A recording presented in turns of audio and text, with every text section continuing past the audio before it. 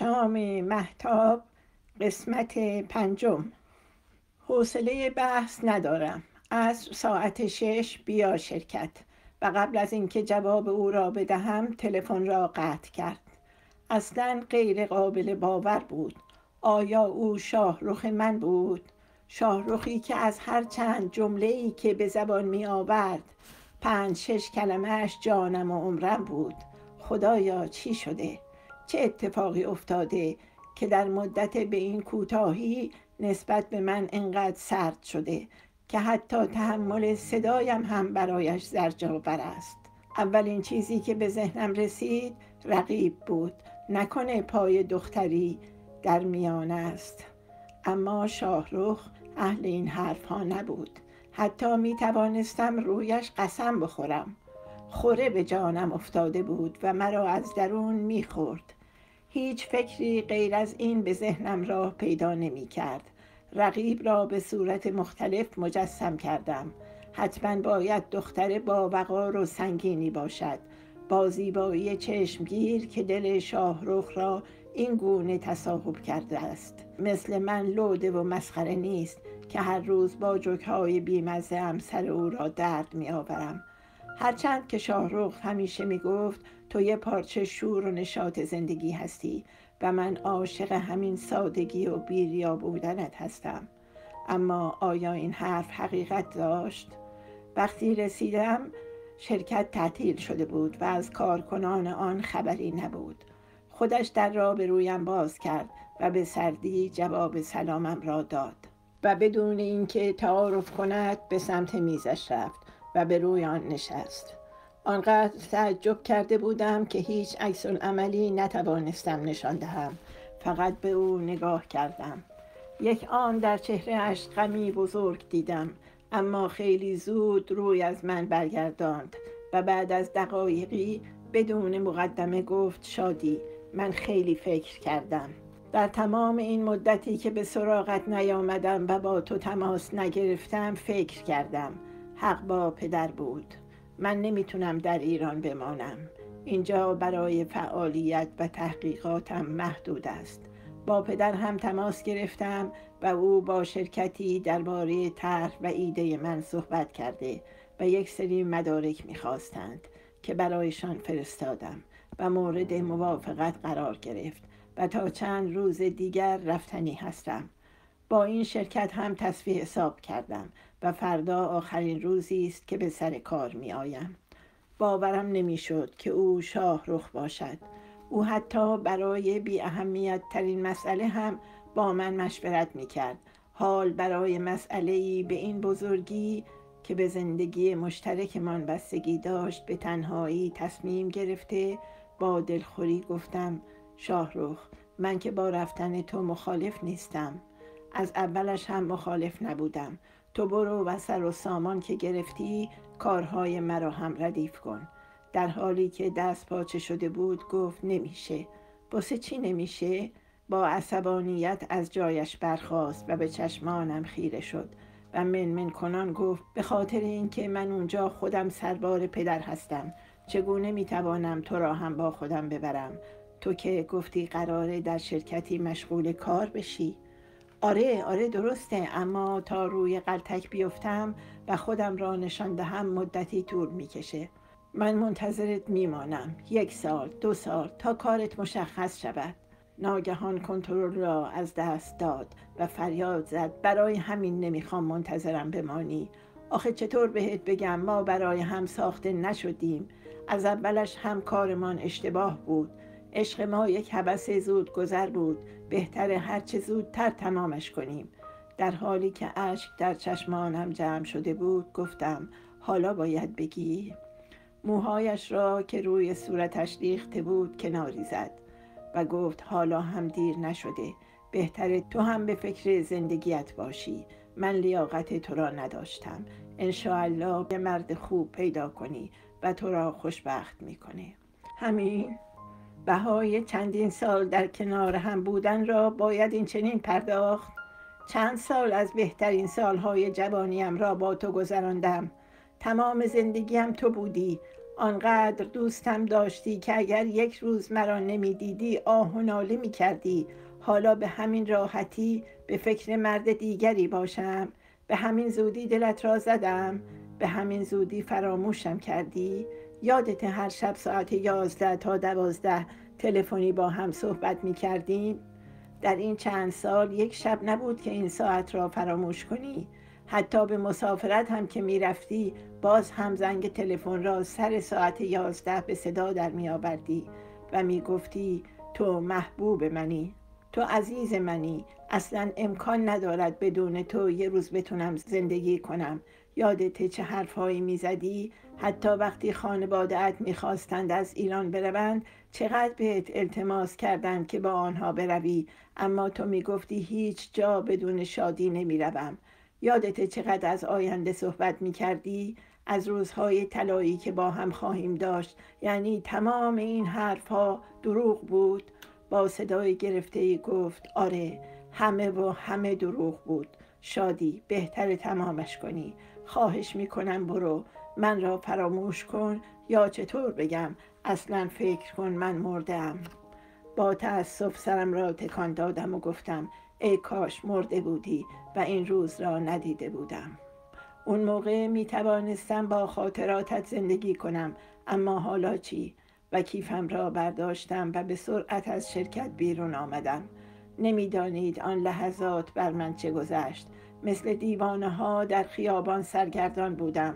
حتی چند بار تصمیم گرفتم خودم را زیر ماشینی بیاندازم اصلا باور نمی کردم که این صحبت ها را از زبان شاه رخ شنیده باشم اما تمام زندگیش را به خاطر من از دست داد. پدرش به علت نرفتن شاهروخ با آنها او را از ارث محروم کرد. مادرش قید او را زد و حالا یک باره تمام آن چیزهایی که روزی برایش ارزش نداشت ارزشمند شده. من هنوز که هنوزه نمی‌توانم حرفهایش را باور کنم. مثل یک کابوس میماند. از همه بدتر این که بابا و مامان هم خبر ندارند. خجالت می‌کشم به آنها بگویم. آخه میترسم که از غصه ده کنند. من عقد کرده او بودم. همه ما را مثل یک جفت کبوتر خوشبخت می‌دیدند. قرار بود همین تابستان بسات عروسی را راه بیاندازیم. و سر خانه و زندگیمان برویم. اما حالا واقعا حرفهای شادی باور کردنی نبود. از شاهروخی که جانش برای شادی در می‌رفت بعید به نظر می آمد آن روز خیلی با شادی حرف زدیم اما فایده ای نداشت. دل شکسته را چگونه می‌توان بند زد؟ هیچ راهی به نظرمان نمی رسید به او امید می‌دادیم ولی چه حیف که خودمان هم می‌دانستیم بیهوده است. تصمیم گرفتیم که به اتفاق بچه ها به سراخ شاه رخ برویم. اما شادی جان خودش را قسم داد که این کار را نکنیم گفت بیشتر از این کوچکم نکنید. روز به روز شاهد آب شدن تدریجی شادی بودیم. اما کاری از دستمان بر نمی آمد. از آن شادی پرسر و صدا هیچ باقی نمانده بود. مانند یک مرده متحرک به مدرسه می آمد. سر کلاس آنقدر ساکت شده بود که حتی دبیرها هم علت را جویا شدند و او هم بیماری پدرش را بهانه کرد زنگ تفریح هم روی نیمکت همیشگی می نشستیم و شادی از خوبی های شاه رخ می گفت و در آخر بر عشق مردهش زاری می کرد. صحبت های پدر و مادر شادی با شاه رخ هم فایده ای نبخشید. همان حرفهایی که شادی زده بود به آنها هم تحویل داد. پدرش گفته بود آخر چطور می‌تونی با آبروی یک انسان بازی کنی؟ مگر تو از انسانیت بویی نبردی؟ چطور حاضر یک دختر پاک را سر زبانها بیاندازی و بعد او را رها کنی؟ شاهروخ با شنیدن این سخنان در حالی که صدایش میلرزیده گفته بود اینطور درباره من قضاوت نکنید. شاهروخ برای رفتن آنقدر عجله داشت که با شادی تماس گرفت و گفت متاسفانه فرصت چندانی ندارم. وکیلی می‌گیرم تا کارهای طلاق را انجام دهد. مهریت را هم تمام و کمال پرداخت خواهد کرد. شادی هم با خونسردی در جوابش گفت من که قصد ازدواج ندارم برایم فرقی نمی کند در ذهن مهریه را هم به عنوان یک هدیه از من بپذیر. چون کسی که زندگی و عشقش را به پول می فروشد خیلی محتاج است. یک ماهی از رفتن شاه رخ گذشت اما روحی شادی هیچ تغییری نکرده و نتوانست او را فراموش کند. به قول خودش مگر میشه نفس کشیدن را از یاد برد؟ چیزی به امتحانات نهایی نمانده بود. با حال و روزی که شادی داشت می‌دانستم که امکان ندارد بتواند درسی را پاس کند. با بچه ها تصمیم گرفتیم تا آنجا که می توانیم به او کمک کنیم. بچه ها می گفتند این کار از عهده من برمی آید ولی من با شناختی که از پدر و مادرم داشتم بعید می دانستم رضایت دهند که شادی به خانه ما بیاید. اما چاره ای نبود. با اینکه هیچ امیدی نداشتم با مادر اوضاع و احوال شادی را در میان گذاشتم و در کمال تعجب او پدر را راضی کرد. که شادی هفته چند ساعت به خانه ما بیاید تا در دو روزی که ضعیف است کمکش کنم.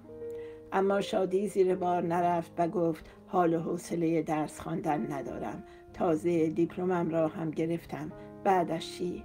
لیسانسم را هم بگیرم که چی بشه؟ به چه امیدی؟ آیا می‌تونه مرهمی بر دل زخم خوردن باشه؟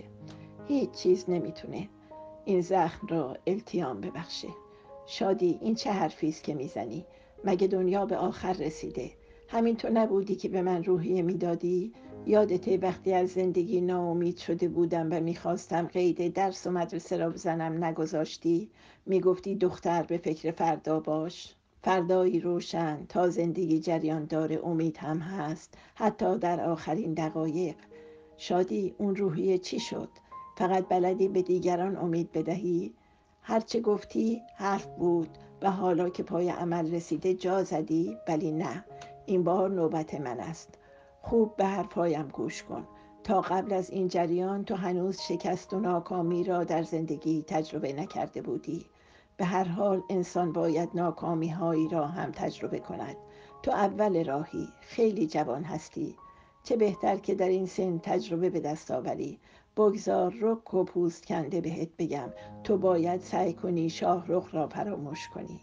با خاطراتش زندگی کردن بدترین بیماری است و هرچه به آن پروبال بدهی بیماریت مزمنتر می شود تا کی می خواهی بنشینی و از خوبی های او سخن بگویی ما انسان ها هنوز همدیگر را نشناخته ایم حتی عزیزترین کسانمان یه موقع کاری انجام می دهند که باورش برایمان غیر قابل قبول است ولی باید باور کرد. تو هم رفتن شاهرخ را باید باور کنی و به زندگیت بچسبی. تو هنوز راه زیادی در پیش داری. او که تا آن لحظه به حرفهایم گوش می‌داد با حالتی ملتمسانه گفت به خدا نمی‌تونم. خیلی سخته. کسی را که دوست داشته باشی و او هم برات بمیره ولی یک مرتبه همه چیز خراب بشه و خیلی راحت بهت بگه برو دنبال زندگیت. بدون هیچ دلیلی. آخه اگه تو بودی نمیسوختی آتش نمی‌گرفتی چرا از من کار محال می‌خواهید؟ باور کن حسی در وجودم همه چیز را انکار می کند شاهروخ حرفش با قلبش فاصله داشت. او از روی عقل حرف می‌زد. نه از ته قلب. باورم نمیشه شاهروخ خوب من مانند پرنده ای پر زده باشد. آن روز خیلی با شادی حرف زدم تا توانستم راضیش کنم که به خانه ما بیاید. روزهای اول که اصلا حواسش به درس نبود اما کم کم دل به درس داد و با حوصله به حرفهایم گوش می‌داد. با بچه ها برنامه ریزی کردیم که بیشتر در کنار شادی باشیم. مادرش با ما تماس گرفت و از غم و اندوه فرزندش آه کرد و از ما قول گرفت که او را تنها نگذاریم. مادرش می ترسید که مبادا او دست به عمل احمقانه بزند ولی ما آنقدر شادی را دوره کرده بودیم که حتی برای فکر کردن هم وقت نداشت. و از حال شادی باعث شد که من غمهایم را فراموش کنم و می توانم به جرأت بگویم که شادی باعث شد من آن سال درسهایم را با نمره های خوب پاس کنم چون واقعا قصد داشتم قید درس خواندن را بزنم.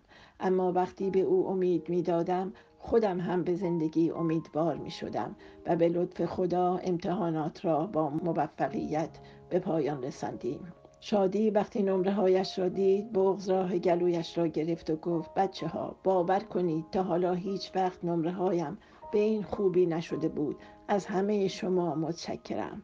با فرارسیدن تابستان تازه به فکر بدبختی های خودم افتادم.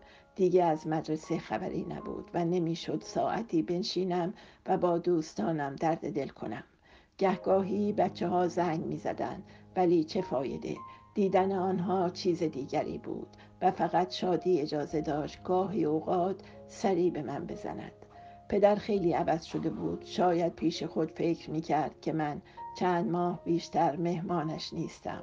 به هر حال برای من فرقی نمی کرد همین که تا حدودی مرا آزاد گذاشته بود یک دنیا ازش ممنون بودم. تا اینکه یک روز شادی بدون تماس قبلی زنگ خانهمان را به صدا درآورد. دلم ریخت. آخه هیچ وقت سابقه نداشت بدون هماهنگی به خانه ما بیاید. به استقبالش رفتم. خوشحالی در سیمایش موج می‌زد. دست گلی زیبا در دست داشت. مانتوی خوش رنگ به تن و یک روسری نارنجی به سر و کفشی به همان رنگ به پا داشت که همه و همه حاکی از خبر خوبی بود. چون شادی مدت ها بود که فقط رنگ تیره به تن می کرد مرا در آغوش کشید و صورتم را غرق بوسه کرد. صورت یخ کردهش و لرزش بدنش نشانه خوبی نبود. گفتم چه خبر شده؟ نامه مادر شاهروخ صبح به دستم رسید. جان من راست میگی؟ حتما خبر خوبی داری. یادت بارها و بارها گفتم شاهروخ من نامرد نیست. بیعاطفه نیست به خدا می‌دانستم و همین بیشتر مرا عذاب می‌داد. همیشه نگاهش را از من پنهان می‌کرد چون در چشمانش غمی بزرگ داشت که نمی‌خواست من متوجه آن شوم. دست او را گرفتم و به اتاقم بردم. استرس داشت. او را روی صندلی نشاندم. لیوانی آب به دستش دادم. بعد از دقایقی گفتم خب حالا برام تعریف کن که مادرش چی نوشته که عزیز مرا اینقدر خوشحال کرده؟ بدون اینکه جوابم را بدهد نامه را به دستم داد و خودش از پنجره به حیات خم شد و قطره اشکی از گوشه چشمانش چکید. خدایا چه اتفاقی افتاده؟ با دستی لرزان نامه را باز کردم. سلام بر عروس گلم شادی. نمی‌دانم از کجا شروع کنم و چه بنویسم. گاهی های زیادی برای گفتن داریم که نمی توانیم به زبان بیاوریم و نه بر روی کاغذ. اما باید از جایی شروع کرد و ناگفته ها را گفت بگذار راحت و بیپروا عقده دل را خالی کنم و آنچه طی این سالها در دلم تلمبار شده به روی این ورقه های بیجان کاغذ بیاورم که گفتنش با تلفن برایم سخت و دشوار است. هیچ وقت تو را به عنوان یک عروس نپذیرفتم. نه آن روزی که برای اولین بار قدم به خانه شما گذاشتم و نه روز بله بران و مراسم های دیگر. همیشه تو را به چشم دشمنی می دیدم که تنها پسرم را از چنگم درآورده است. تا قبل از اینکه تو به زندگی ما وارد شوی همه چیز بر وفق مراد بود. همه کارها بر طبق برنامه انجام شده و ما قصد داشتیم برای همیشه به انگلیس برویم. اما ناگهان با آمدن تو همه چیز به هم ریخت. شاهروخ پایش را در یک کفش کرد که بدون تو پایش را از ایران بیرون نمی‌گذارد. همه کارها ردیف شده بود و ما وقت چندانی نداشتیم. آمدن تو یعنی یکی دو سال دیگر صبر کردن و چشم انتظار ماندن. در موقعیت بدی گیر کرده بودم. نمی توانستم بروم و نه دل بماندن داشتم. با هر زبانی که می‌شد با او صحبت کردم. حتی پیشنهاد دادم که ما می رویم بعد وکیلی می گیریم تا اقامت شادی را هم درست کند. اما او زیر بار نرفت. سعی کردم مطابق میلش رفتار کنم. تا شاید نرم شود. آخه او تنها پسرم بود. دلم نمی‌خواست به هیچ طریقی او را از دست بدهم. به خواستگاریت آمدم و همه جا مثل یک مادر شوهر نمونه در کنارت بودم و حتی تو را هم راضی کردم اما او قبول نکرد. عاقبت وقتی پدرش لجبازی و سماجت او را دید شاهرخ را از ارث محروم کرد. و با هم بدون پاره وجودم به دیار غربت رفتیم. برای اولین بار بود که از پسرم جدا می شدم. آنجا جز گریه و کاری نداشتم. حتی دیدن دخترانم هم نتوانست از غم و غصهام کم کند و تو را مسبب همه و همه این مشکلات می‌دانستم به حال زندگی در گذر است و ما را به نداشتن ندیدن از دست دادن عزیزان و هزار غم و غصه دیگر عادت می دهد و به مرور به مرور زمان آرام آرام تر شدیم. اما هیچ وقت یاد و خاطره آن عزیز را فراموش نمی کنیم تا اینکه چند ماه پیش صحبت‌های تلفنی شاهرخ رنگ و بوی دیگری گرفت. او تصمیم گرفته بود به انگلستان بیاید. باورم نمی‌شد. او بدون تو هیچ نبود. این را بارها و بارها از زبان خودش شنیده بودم. اما چی شده که یک چنین تصمیمی گرفته بود؟ هرچه فکر کردم که بین شما چه اتفاقی افتاده که شاهرخ اینقدر تغییر کرده نفهمیدم. از یک طرف هم می گفتم چه بهتر. دیدی که فرزند نمی‌تونه غیر پدر و مادرش را بزنه و به خود میبالیدم که او ما را انتخاب کرده است. آنقدر غرور و خودخواهی مرا گرفته بود که حتی حاضر نشدم تماس بگیرم و از حال تو جویا شوم. حتی یک لحظه خودم را به جای تو نگذاشتم. حتی به دل شکستت فکر نکردم. به غم و به تنهاییت سعی کردم خودم را به نفهمی بزنم و همین که شاهرخ را در کنار خود داشتم احساس خوشبختی می کردم. فقط یک بار درباره تو از شاهرخ پرسیدم و او گفت همه چیز بین ما تمام شده. لطفا سوال نکنید و من هم با قصاوت قلب حرف او را پذیرفتم. نه سوالی کردم و نه حتی برای یک بار اسم تو را آوردم. وقتی شاهرخ را در فرودگاه دیدم باورم نمی‌شد که این جگر گوشه من باشد. خیلی تکیده شده بود. او دیگر شاهرخ قدیمی نبود. دو هفته گذشت و او روز به روز گوشگیرتر و منصبی تر می شد. پیش خود می گفتم که حتما از دوری توست. با چند تا مهمانی و گذشته زمان همه چیز درست خواهد شد. اما یک ماه گذشت و او هر روز نحیفتر و افسرده تر از روز قبل می شد. از خانه تکان نمی‌خورد فقط دو روز در هفته سر ساعت معینی بیرون می‌رفت و حدود دو ساعت بعد باز میگشت و به اتاقش پناه می برد. باور نمی کنی تمام در و دیوار اتاقش پر از عکس های بزرگ و کوچک تو بود حتی چند تایی را هم به سقف آویزان کرده بود دیگر تحمل این وضع برایم غیر ممکن بود و از پدرش خواستم که با او صحبت کند. اما او با جوابهای بی سر و ته نتوانست ما را قانع کند. نمی‌دانم آن روز صبح چه حسی مرا از خواب بیدار کرد و ناگهان تصمیم گرفتم به اتفاق پدرش به تعقیب او برویم. باید از این راز سر در می آوردیم. آخه او در انگلستان کسی را نداشت. خدا می‌داند که چه حالی داشتم. نیم ساعت بعد در پارکینگ بیمارستانی توقف کرد. خدایا شاهرخ اینجا چه می کند معلوم بود که برای اولین بار به آنجا نیامده. چون خیلی راحت بدون اینکه از کسی بپرسد به بخش مغز و اعصاب رفت و با پرسنل آنجا سلام گرمی کرد و مستقیما به اتاق دکتر جرانت رفت. دیگر پاهایم یاری نداشت. با کمک لطفی به روی نیمکتی نشستم. حال او هم بهتر از من نبود در حالی که عرق پیشانیش را پاک می کرد و به سمت ایستگاه پرستاری رفت. با یکی از آنها صحبت کرد. او هم جواب درستی نداد. گفت ما چنین اجازه ای نداریم. بهتر با خود دکتر صحبت کنید.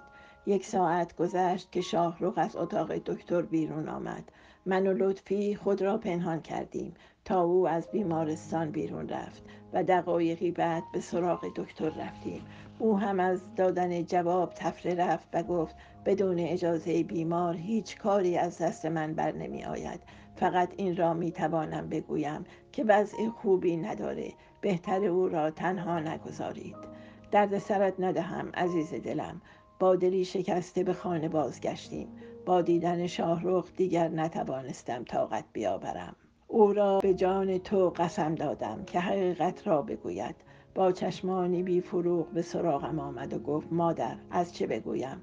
از ظلم روزگار؟ از اینکه باز هم مظلومی پیدا کرده تا تومه خود کند. از خودش گفت از بیماری لاعلاجش که لحظه به لحظه در حال پیشروی است. از غم دوری تو. از اینکه هر چه کرده به خاطر تو بوده. می‌خواسته ازش متنفر شوی که قصهش را نخوری و از مرگش زجر نکشی. می‌گفت من عاشق و شیدای شادی هستم مگر می‌توانم او را فراموش کنم؟ هر چه کردم فقط به فقط به خاطر خودش بوده است. شادی عزیز دلم چه بگویم از جفای روزگار؟ او تومار مغزی دارد و بیشتر از چند ماه دیگر زنده نخواهد ماند. پزشکان سعی خودشان را می کنند اما فکر نمی کنم مسمر سمر باشد چون او قبل از هر چیزی به یک روحیه خوب احتیاج دارد که متاسفانه آن را از دست داده و هیچ سعی و تلاشی برای به دست آوردن آن نمی کند شاهرخ مرا قسم داده که به تو حرفی نزنم ولی به دو علت نتوانستم. اول اینکه مادرم و دلم می‌خواهد فرزندم در آخرین لحظات عمرش خوشحال باشد و با آرامش از پیش ما برود و دوم اینکه نمی‌خواهم تو شاهرخ را ناسپاس و بیمعرفت بدانی. دلم می‌خواهد همیشه خاطره این عشق زیبا و به یاد ماندنی در ذهنت بماند. این لحظات آخر او را تنها نگذار و در کنارش باش. قربانت یک مادر رنج دیده. آیا این حقیقت داشت؟ نگاهی به شادی انداختم. چشمانش را بسته بود و زیر لب شعری را زمزمه می کرد. به سراغش رفتم سرم را روی زانوانش گذاشتم و بی اختیار گریستم. او سرم را در بغل گرفت و بر آن بوسه ای زد و گفت یادته یادته چند بار گفتم که شاه رخ من بی عاطفه نیست. حیف که نفهمیدم. ای کاش غرورم را زیر پا گذاشته بودم و با التماس از او خواسته بودم. که حقیقت را کتمان نکند. حالا می‌خواهی چه کار کنی؟ تصمیم خودم را گرفتم. باید در کنارش باشم. مشکل رفتن نداری. نه شکر خدا. چون ما هنوز طلاق نگرفته ایم با مادر شاهرخ تماس گرفتم و از او خواستم تا هرچه زودتر ترتیب رفتن مرا بدهد. شادی با اینکه می‌دانست شاهرخ چند ماه بیشتر زنده نیست ولی خوشحال بود. خوشحال از اینکه عشقش به او خیانت نکرده. می گفت حالا می توانم تمام عمرم را با خاطراتش زندگی کنم. از اینکه چند سال را با بهترین مرد دنیا بودم احساس غرور می کنم مردی که عشق را با همه زیباییش به من هدیه کرد. محتاب آیا می‌تونم کمکش کنم؟ آره عزیزم آره که می‌تونی. تو هم بهترین همسر دنیا هستی. همین که شاهرخ را شناخته بودی و حرفهایش را باور نکردی معلومه که به عشقت ایمان داشتی و از صمیم قلب او را دوست داشتی. آن روز خیلی با هم حرف زدیم. عکس های نامزدیش را با خودش آورده بود. نه یک بار و نه دو بار بلکه چندین بار آنها را با هم نگاه کردیم. چنان قربان صدقه شاهرخ می‌رفت که مانده بودم که اگر خدایی نکرده بلایی سر شاهرخ بیاید. این دختر چه می کند؟ حتم دیوانه خواهد شد. زودتر از آنچه بتوان فکرش را کرد. کارهای شادی رو به راه شد.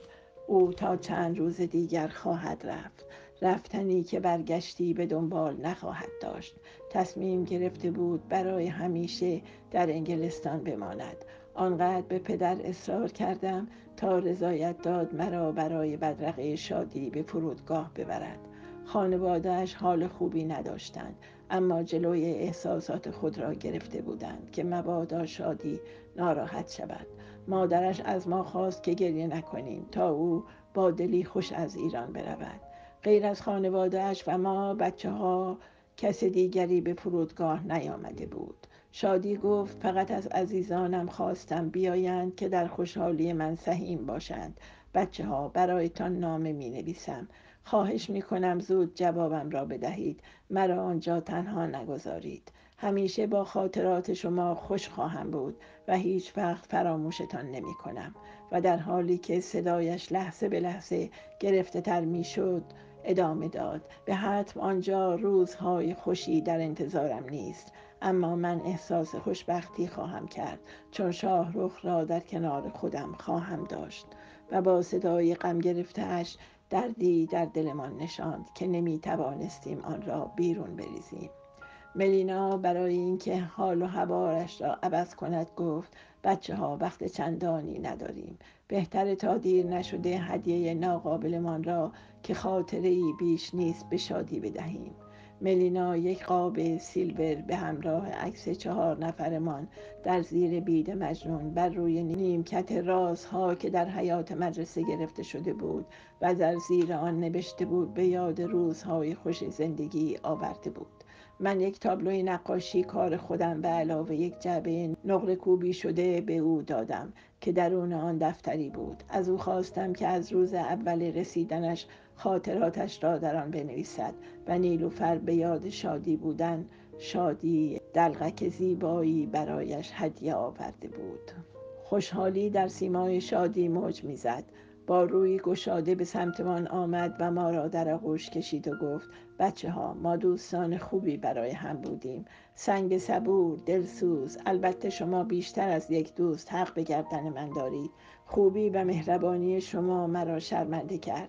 اگر کمک های شما نبود به هیچ عنوان نمی توانستم جلوی چنین مصیبتی قد علم کنم و شاید همان روزهای اول از ناامیدی دست به عمل احمقانه ای می زدم ولی حرفهای شما و امیدهایی که به من می‌دادید مرا به زندگی دلگرم و امیدوار می کرد. یادت محتاب همیشه وقتی برایمان درد دل می کردی با چند شوخی و مسخره بازی سعی می کردم آن جو را به هم بریزم که تو را از غم و غصه بیرون بیاورم می‌دانستم هر سخنی یا پندی بگویم بیفایده است چون خودم هم حرفهای خودم را باور نداشتم. آخه من همیشه زندگی را سرشار از خوشبختی می دیدم. سر به سر این و آن گذاشتن لودگی مسخره بازی و به راجی سر کلاس هیچ وقت فکر نمی کردم که زندگی روزهای سخت و ناراحت کننده به همراه داشته باشد. همیشه از اینکه از روزگار ناله و شکایت می کردی حرسم می گرفت. فکر می کردم خودت زندگی را سخت می گیری اما با این اتفاق که برایم پیش آمد متوجه شدم هر لحظه باید منتظر حادثه ای باشیم و شاید خوبیش همین باشد که قدر آن چیزی که داریم بدانیم. بگذار حرف آخرم را بزنم. هیچ وقت نصیحت نکردم اما حالا حرفی برای گفتن دارم محتاب عزیز دلم مبارزه کن. تا آن چیزی را که می‌خواهی به دست بیاوری. زندگیت را مفت از دست نده که دیگر بازگشتی به گذشته نخواهی داشت. سپس محکم مرا به سینه چسباند و گفت برایم خیلی عزیز هستی. به امید دیدار. پدر و مادر شادی دیگر نتوانستند طاقت بیاورند. با چشمانی بار دخترشان را در آغوش گرفتند. شادی آنها را بوسید و گفت خیلی نگران شما هستم. ای کاش با هم می رفتیم مادرش گفت عزیزم ناراحت نباش. من و پدرت سعی می کنیم هر چه زودتر پیش تو و شاه رخ بیاییم. شما را تنها نخواهیم گذاشت. بهتر زودتر بدی تا حالا چند بار متصدی اطلاعات پروازت را اعلام کرده. شادی چند قدمی رفت اما دوباره برگشت و خود را در بغل آنها انداخت و گریه کنان گفت جدایی خیلی سخته. خیلی. بچه ها شما را به خدا مواظب بابا مامان باشید. آنها خیلی تنها هستند.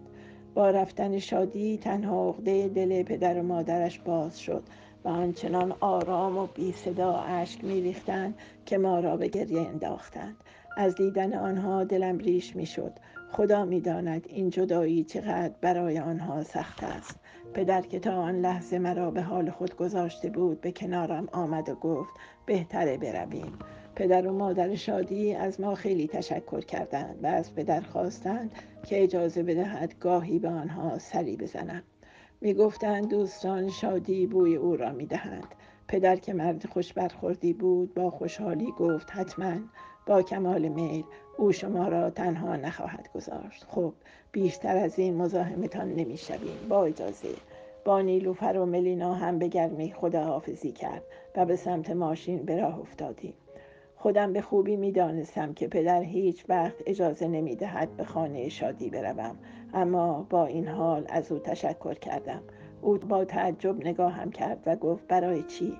برای همه چیز. از اینکه مرا به فرودگاه آوردید و از حرفهای دلگرم کننده تان که به پدر و مادر شادی زدید. پدرم سرش را به علامت تایید تکان داد و گفت من هم متشکرم. از اینکه برای اولین بار باعث خوشحالی تو شدم. در سیمای پدر رضایت موج می‌زد. هیچ وقت او را چنین ندیده بودم. به نظر خیلی سر حال می آمد حالی داشت که به من آرامش می‌داد. او از شاد بودن من خوشحال بود و این مرا به تعجب میانداخت. یک چنین تغییری در پدر به ندرت دیده می‌شد. آن روز به خود بالیدم و احساس غرور کردم چون بالاخره پدر مرا درک کرد. با رفتن شادی تازه فهمیدم که چقدر تنها شدم. طی چند ماه گذشته خیلی به بودنش عادت کرده بودم. آمدنهای مکررش به خانه تلفن‌های وقت و بی وقتش لحظاتی که در کنارم می نشست و به یاد شاهرخ اشعار فروغ فرخزاد را با حزن و اندوه می خواند. او گفت دختر حیف این تابلوهای زیبا نیست که اینجا خاک می‌خورند. تو اینقدر هنرمند بودی و ما خبر نداشتیم. من که گفته بودم اوقات بیکاریم را نقاشی می‌کنم. اما هیچ وقت فکر نمی کردم اینقدر ماهر باشی. حتما استاد خوبی داشتی. سرم را تکان دادم و گفتم البته زندگی بهترین استادم بود. خیلی اصرار کرد که یکی از تابلوها را به او بدهم اما نمی‌شد به او گفتم اینها به هم تعلق دارند و نمی توانند از هم جدا شوند. چون هر کدام از این تابلوها قسمتی از زندگی من است.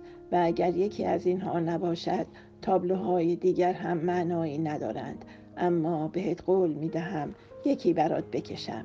و بالاخره وقتی فهمیدم که شادی قصد رفتن دارد برای اولین بار تابلویی بدون مضمون درون خودم شروع به کشیدن کردم که البته ناگفته نماند. کار بسیار سختی بود. باید از کالبد خود بیرون می آمدم و جای کسی دیگری قرار می گرفتم روزها وقتم را گرفت تا توانستم فکرم را جمع کنم و آن را بر بوم سفید بیجان به تصویر درآورم. به هر حال با سعی و تلاش شبانه روزی این کار با موفقیت انجام گرفت و آن را بندی کردم. دلم می‌خواست در کنار شاهرخ آن را باز کند. باز هم خاطرات شادی مرا به یاد او انداخت. خدا می‌داند چقدر دلم هوایش کرده بود. او چه می‌کند؟ حال شاهرخ چطوره؟ یعنی اینقدر گرفتاری که ظرف این مدت نتوانسته با ما تماس بگیره یا اینکه ما را پاک فراموش کرده؟ ملینا و نیلوفر هم از او خبری نداشتند. در آخرین تماسی که با مادر شادی داشتم گفت یه موقع فکر نکنید که دخترم بی معرفت است و شما را از یاد برده. به خدا امکان ندارد تلفن بزند و احوال شماها را نپرسد. این روزها خیلی سرش شلوغ است. باور کن به ما هم ساعت یک و دو نیم شب در حالی که از خستگی نای حرف زدن ندارد تماس می‌گیرد. من خیلی نگرانش هستم اما او خودش از این بعض بسیار راضی و احساس خوشبختی می کند. آنقدر از شنیدن این حرف خوشحال شدم که خدا می‌داند از اینکه سختی ها را تحمل می کند فقط برای اینکه در کنار کسی باشد که دوستش دارد. لبخندی از رضایت بر روی لبانم نشست. شاید برای امثال من این فداکاری ها معنایی نداشت چون نه مفهوم عشق را می‌دانستم و نه دوست داشتن را. حتی گاهی اوقات از خودم میپرسیدم ممکنه من آنقدر به کسی علاقمند شوم که نفسم به نفس او بند باشد یا برای دیدارش بیتابی کنم و چه می‌دانم شب و روزم یکی شود؟ که از خودم بعید می‌دانستم. چون آن تصویری که از مردها در ذهنم مجسم شده بود کسی مانند پدر خودخواه زورگو و سختگیر است و هیچ وقت فکر نمی کنم که بتوانم دل به مردی بدم و تنها مسئله ای که در ازدواج برایم مهمه اینه که زور و اجبار در کار نباشد و به خواسته هایم اهمیت دهد. به نظر من این یک خوشبختی کامله. این روزها بیشتر در لاک خودم هستم و کمتر با پدر بحث می کنم آنقدر خسته شده ام که حوصله سوال و جواب با او را ندارم. نه چیزی به اجبار از او می خواهم نه حرفی می زنم که بر وفق مرادش نباشد و نه حرکتی که حاکی از نارضایتیم باشد. مردی که 25 سال از زندگیش را این گونه گذرانده چطور می شود او را عوض کرد؟ من هم تلاش بیهوده می کنم چند ماهی بیشتر در این خانه مهمان نیستم. بعد گورم را گم می کنم و می روم. اگر خیلی همت داشته باشم برای زندگی زناشویی خودم کاری انجام خواهم داد. بس که در این مدت فکرهای جورا جور کردم سرم سود کشید. با بیحوصلگی از جا برخواستم و به سمت قفسه کتاب ها رفتم. و کتابی را که دور از چشم پدر و مادر از نیلوفر گرفته بودم بیرون کشیدم. بچه ها می گفتند رمان جدایی است. با خواندن همان چند صفحه اول چنان پایبند آن می شوی که دلت نمی آید کتاب را زمین بگذاری. حالا با این جو خانه ما چگونه می توانم آن را بخوانم؟ خدا می داند تا خواستم اولین صفحه آن را ورق بزنم صدای در اتاق شنیده شد. به سرعت کتاب را بستم و زیر بالشم گذاشتم. زهرا نفس در را باز کرد و گفت محتاب محتاب یه خبر خوش. شادی تلفن زده. با تعجب گفتم چی؟ زهرا گوشی را به طرف هم دراز کرد و گفت چرا ماتت برده؟ شادی است مگر منتظر او نبودی؟ خب حرف بزن. با خوشحالی از جا پریدم و گوشی را گرفتم و گفتم الو الو شادی عزیزم تویی؟ سلام محتاب قربونت برم. خدا می‌دونه که چقدر دلم هوای تو رو کرده. الهی فدات بشم. اینجا جات خیلی خالیه. باور کن. یه روز نمیشه که یادت نکنم. شرمنده که نتوانستم زودتر تماس بگیرم. حتما موقعیت مرا درک می‌کنی. با دیدن شاهروخ هرچه غم و غصه داشتم فراموش کردم. وقتی در فرودگاه مرا در آغوش گرفت و صدای قلبش را مانند قلبه گنجشک میتپید شنیدم. اون موقع بود که مطمئن شدم که شاهروخم هیچ عوض نشده و هرچه کرده فقط و فقط به خاطر من بوده. تا چند روز حال و هوای عجیبی داشتم. اصلا به خودم تعلق نداشتم. مریضی شاهرخ را پاک از یاد برده بودم. ساعتها می نشستم و او را تماشا می کردم. حتی وقتی که خواب بود دلم می‌خواست زمان در لحظات خوشبختی من متوقف شود. اما افسوس که خواسته ای دور از واقعیت بود. حالا حالش چطوره؟ و هوای عجیبی داشتم. اصلا به خودم تعلق نداشتم. مریضی شاهروخ را پاک از یاد برده بودم. بدون اینکه غمی در صدایش موج بزند گفت تعریفی ندارد. هفته یک جلسه به کلینیک می رویم. بهبودی حاصل نکرده ولی شکر خدا جلوی پیشرفت بیماری را گرفتهاند. محتاب باور نمی کنی. اصلا برام مهم نیست که چه مدت در کنار هم زندگی می کنیم فقط برام مهم اینه که فعلا با هم هستیم و به اندازه یک دنیا همدیگر را دوست داریم. همین که عشق را در چشمان شاهروخ می بینم جان می گیرم و او هم خیلی بهتر شده. دکتر میگه تا قبل از اینکه من بیایم روز به روز حالش بدتر می شده اما حالا به لطف خدا و قدرت عشق پیشرفت بیماری متوقف شده. همین حرفهای بار کننده مرا مانند یک کوه محکم و استوار کرده و مثل داستانهای قدیم با هم به جنگ اهریمن زشتی و پلیدی می رویم و باید در این جنگ نابرابر پیروز شویم. شادی خیلی خوشحالم. به اندازه یه دنیا برات آرزوی موفقیت می کنم و از خدا می خواهم که کمکتان کند. ازت متشکرم. راستی از بابت نقاشی هم ممنونم. به قول شاهروخ باید دستت را طلا گرفت. باور کن شاهکار هنری است. امکان ندارد کسی تابلو را ببیند و زبان به تحسین باز نکند. هر وقت نگاهش می‌کنم یه دنیا حرف باهام داره و به هم آرامش میده. جان من اینقدر شرمندم نکن. باور کن چیزی نمانده که از خجالت آب شوم. قهقهه زد و گفت از خودت بگو. حتما داری برای کنکور خودت را آماده می کنی ای بابا کدام کنکور؟ کی حوصله درس خوندن داره؟ ما هم منتظر نشستیم تا ببینیم چه بختی نصیبمان می شود. هی دختر نبینم ناامید بشی. یادت اون روز توی فرودگاه چی بهت گفتم؟ باید مبارزه کنی. نشستی تا دیگران برات تعیین تکلیف کنن؟ خدا عقل رو واسه چی به تو داده که از آن استفاده کنی؟ خدا آدمهایی را که دیگران برایشان تصمیم می‌گیرند و از خودشان هیچ اراده ای ندارند دوست ندارد انسان را مختار آفریده که با عقل و درایت راه زندگیش را مشخص کند و حالا زبانم لال تو مثل مادر مرده ها زانوی غم بغل گرفتی تا سرنوشتت را ببرند و بدوزند و تو بتن کنی؟ نه عزیزم این راهش نیست. تا دیر نشده راهی پیدا کن و زیر بار زور نرو. نمی‌دانستم چه جوابی بهش بدهم. بغض راه گلویم را گرفته بود.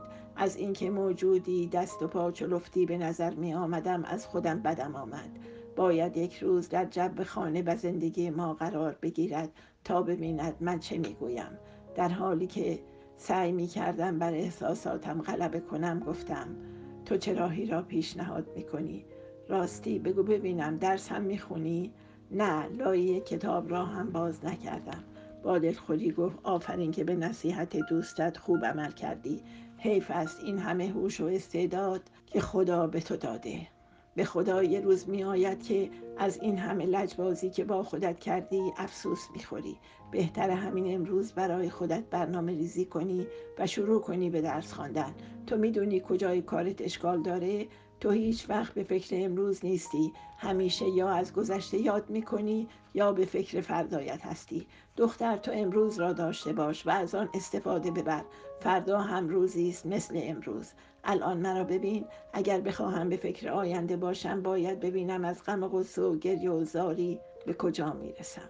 باید در فکر فرو بروم. و از اینکه ممکنه یه روزی شاهرخ را از دست بدم زانوی غم در بغل بگیرم. ولی باور کن من به فرداها فکر نمی کنم. تو هم اگر می‌خوای زندگی برایت سخت نشود امروز را ببین. حالا هم مثل دختر خوب شروع کن به درس خواندن. من هم سعی می کنم هفته یک بار باهات تماس بگیرم تا از اوضاع و احوالت با خبر شوم. عزیزم هیچ وقت امیدت را از دست نده. خدایا این دختر عجب روحیه ای دارد. به جای اینکه من او را به زندگی امیدوار کنم او به من امید می دهد آنچنان تحت تاثیر حرفهای او قرار گرفتم که به او قول دادم. با تمام قدرتی که دارم از زندگیم دفاع کنم. و از آن روز من محتاب دیگری شدم کتاب های درسی را درآوردم و آنها را طبقه بندی کردم و برنامه ای سنگین برای خودم تنظیم کردم. چون وقت چندانی نداشتم و اگر قرار بود در کنکور قبول شوم باید همه سعی و تلاشم را می کردم پایان قسمت پنجم.